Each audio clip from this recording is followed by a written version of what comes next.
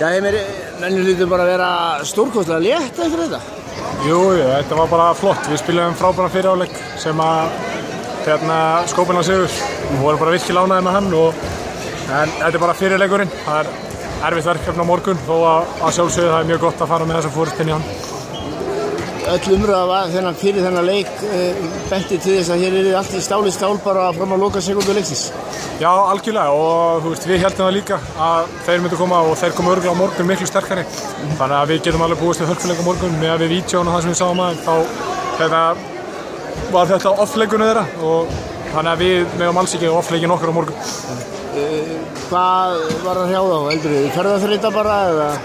Ég bara veit að ég hugsa fyrst og fremst um okkur og við, hvað við getum gert betur. Við dyrtum niður á hæluna hérna í setna áleg uh, í vartanlega og við, vin, við vinnum hann með fjórum öllum og veist, það er ekki nóg gott. Eða, veist, jú, það er gott að vinna með fjórum en með við fyrirálegin þá vil maður alltaf meira.